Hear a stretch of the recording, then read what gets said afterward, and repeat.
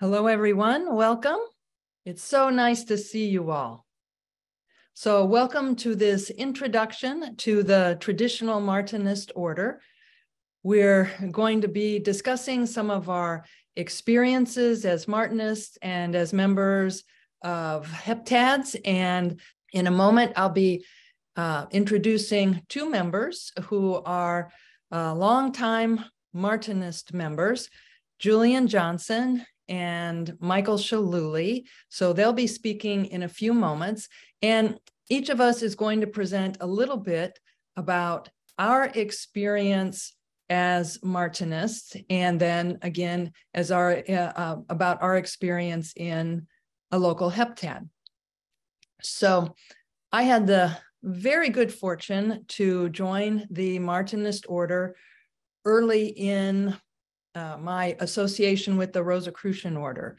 As you may know, the Rosicrucian order is a larger organization and helps with the administration and taking care of the traditional Martinist order. So I was a new Rosicrucian and um, I was so excited to hear about this tradition that studied the mysticism of um, Judaism and Christianity, including subjects like Kabbalah and mystical symbols and dreams and prayer. And I set up my home oratory, which is the like a Rosicrucian sanctum. It's the place where we do our mystical work. And I just was so touched by the Martinist teachings to find a way to really focus on prayer and meditation really made a, a, significant impact on me. I remember early in the Martinist lessons reading that Louis Claude de Saint Martin, who is the philosopher uh, upon which the Martinist philosophy is is uh, inspired by. I remember reading that he said that we should have only one goal in our life, and that goal is union with the divine. And I saw unfolding in all of the Martinist lessons different ways to approach that, ways that we could practice different prayers and meditations. And then I had the opportunity to participate in a local heptad. And for me, this was a really important experience. As you may know, Martinists study our lessons in a heptad over a two year period. So the associate degree takes two years, then the initiate degree takes two years, and then the SI degree takes two years. So we're with the same fellow Martinist students and the same officers and teachers for six years. And I so appreciated the bond that I felt with these other members. We would go into the temple and discuss what was in the lessons. We would practice the meditations together, the exercises. And this really created a strong bond with my fellow Martinist members. So, this was something that encouraged me to become very involved. I was, I served as an officer in the local heptad, and it's really a way to experience the Martinist teachings on another level when I was in the Heptad temple. It's like walking through the lessons. And we, perf- we, we studied the exact same lessons that Martinists study at home, but it's really a powerful experience to discuss and practice the exercises together. So I really appreciated the opportunity to be in a heptad. Also, I mentioned the rituals. The um, Martinist temples are just beautiful and their symbolism throughout. And I found that this touched me on other levels, that these symbols were speaking to different levels of my awareness. So I always felt very fortunate to be able to participate in a local heptad as well as to study my lessons in my home oratory. So now I'd like to call on Julian Johnson to share some of his experiences. Uh, thanks, uh, Grandmaster. Uh, good evening, everyone. Uh, I think uh, everything is working. Um, uh, like, like the Grandmaster, I was very fortunate to, relatively early in my experience to, my Rosicrucian journey to, to join the Martinist Order. I was a couple of years into the order. And I'm going to kind of fast forward for a moment, then kind of go back a little bit into my own detail and experience. I will tell you something quite I find quite interesting. So, as, as you know, if you look at the history of the, the Martinist order and relationship to the Rosicrucian order, AMORC, uh, as I recall, it's 1939 that the uh, traditional Martinist order came under the jurisdiction of AMORC, right? And the aim was, I think, to protect it, seeing what was happening in Europe with World War II approaching and for you know many years it kind of uh, uh, uh, was not not a huge uh, set of activities uh, here in the United States. It was it was large in France, from my understanding, but it wasn't much. Uh, you had for very few heptads in the country, and by the time I joined the Martinist Order, which was actually in the seventies, you had the Grand Temple Heptad in San Jose, and you had the New York Heptad. And I'm from New York and had the fortune of joining the New York Heptad what was quite interesting to me uh, years later, and I will go back and, and, and put more flesh around this, but in, in about the kind of mid to late 80s, uh, uh, the Martinist activity began to expand in the United States. And partly what drove it to, uh, you know, I'm going to say, according to uh, some of the folks who were serving as officers uh, in, in the Grand Lodge at the time, was there was a recognition or, or, an observation, I should call it, that some of the strongest Rosicrucians were also Martinist. Right. So that that really then fueled uh, the expansion of Martinist activity in the United States. Now, you know, in France, it had been going on and with a great deal of, uh, of I guess, fervor, but that really fueled the growth of the order in the orders, Rosicrucian orders uh, efforts behind exposing and encouraging members to join the Martinist order. Uh, because very often, again, it just did something. That, I think when I look at my own self, it, it kind of catalyzed my growth in many ways.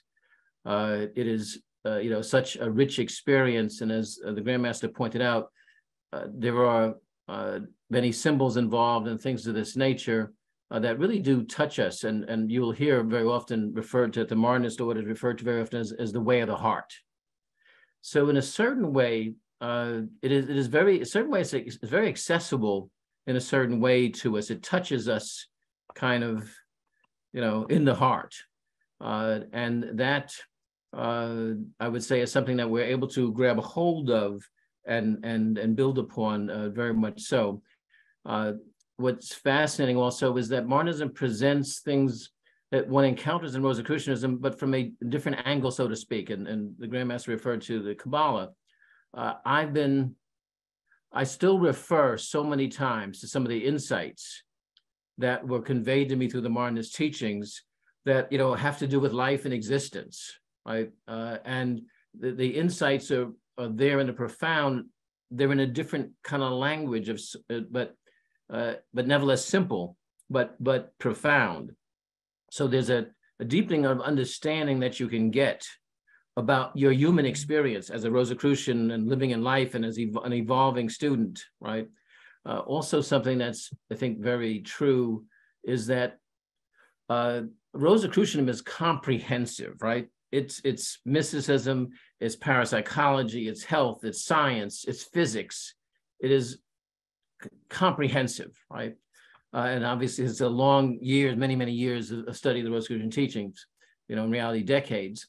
Uh, Martinism is kind of just kind of that mysticism part, right? It kind of right down this heart. It takes the Jewish Kabbalah and elements of it, right? But the mysticism is kind of the focus. So you would find uh, in this work, and as as the Grand Master pointed out, you're looking the only uh, in the words of Saint Martin, uh, the only initiation I seek. And I'm going to paraphrase because I never remembered exactly, but I found it the most profound thing uh, that I've you know taken away.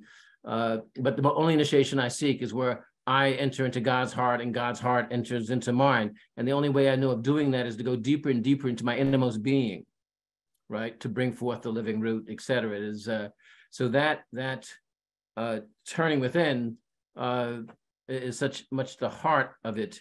Uh, and that's mysticism there. So it kind of again complements uh, our work because at the end of the day, we know at the heart of Rosicrucianism is mysticism right? It's that contact and that realization, uh, the greater and greater realization we can have of the divine. So, uh, you know, uh, I would say my experience attending a heptad, I would put it this this way to you. You know, it's it's my absurd kind of language, perhaps, but I used to say I'd be willing to come back as a chair to just be in the heptad. The vibrations of that temple when you're doing this work and you know, and and and it's, it's much more ritualistic in many ways than you know the Rosicrucian convocation in some ways, right? But when you're doing that work and the intensity that the officers bring to that work, uh, you know, it creates an atmosphere uh, that is very palpable. And I say, you know, I was like, I just if I could be a chair, I'd be I'd have been good. So anyway, that would be what how I would recommend it to you. There's lots more that I'm sure everyone could say, and, and I could maybe add, but uh, let me leave it there as I turn it over to uh, my brother, uh, Michael Shaluly.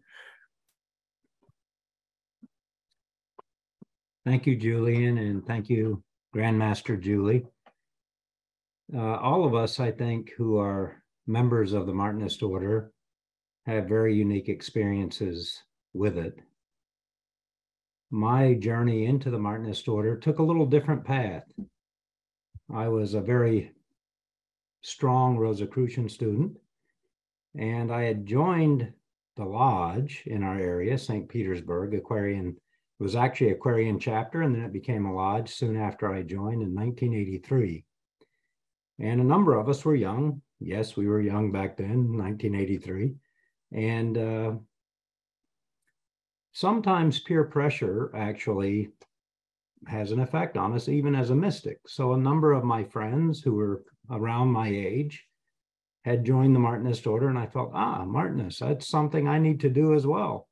And so I joined and I went through the initiation, which is quite an experience, one that I will never forget, and one that I think anyone who has gone through that initiation would recommend to any mystical student.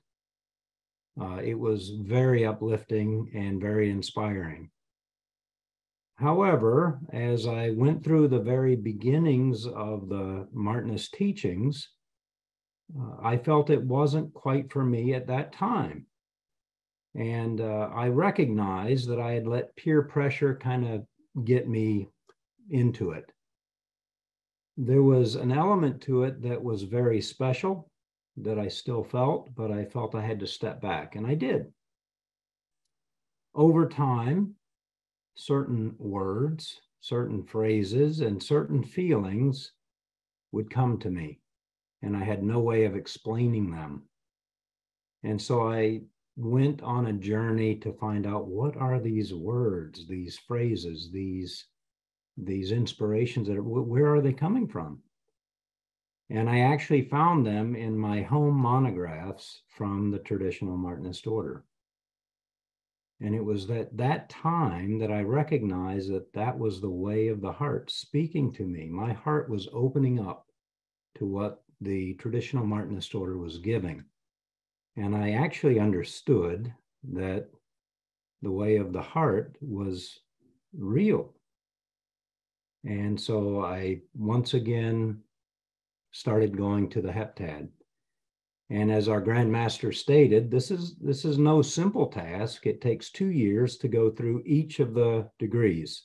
So it's a six-year process. But I was very happy to do it.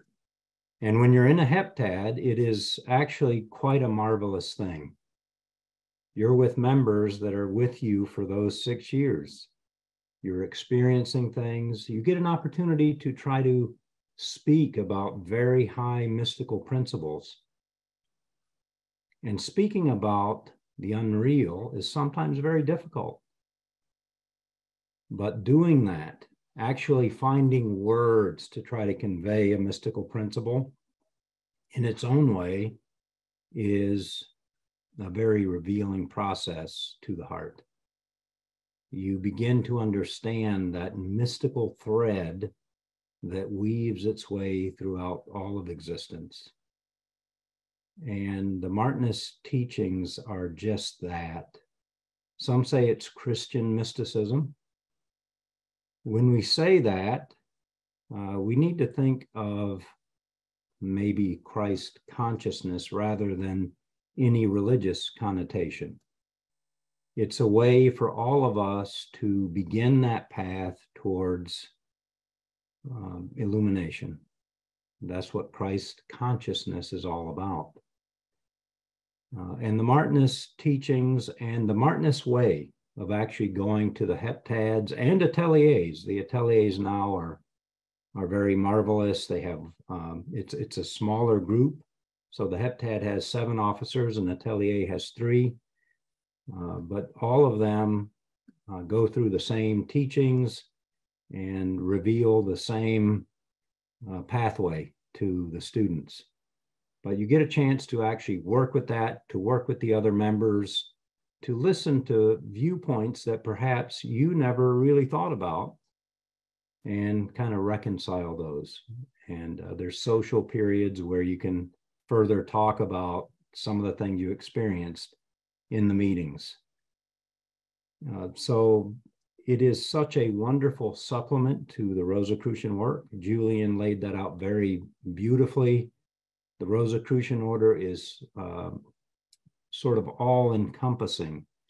Uh, there's there's something for everyone. There's a, a Rosicrucian International Research Council that looks at the scientific methods and scientific disciplines that are out there and how that relates to mysticism.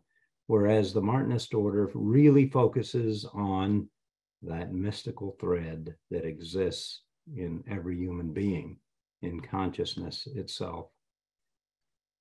So uh, it is certainly a wonderful path and uh, one that I think anyone who has been on that path would recommend to any Rosicrucian student. Um, it is just a marvelous way of revealing the way of the heart. So with that, I would uh, send it back to our Grandmaster Julie. I'm going to share a prayer from Louis Claude de Saint Martin Take back my will, O Lord, take back my will. For if I can suspend it one instant before you, the torrents of your life and light, having nothing to resist them, shall pour impetuously within me. Help me to break down the woeful barriers which divide me from you. Arm me against myself. Triumph within me over all your enemies and mine by subduing my will. O eternal principle of all joy and of all truth. When shall I be so renewed as to no longer be conscious of self, save in the permanent affection of your exclusive and vivifying will? When shall every kind of privation appear to me a profit and advantage by preserving me from all bondage and leaving me ample means to bind myself to the freedom of your spirit and wisdom.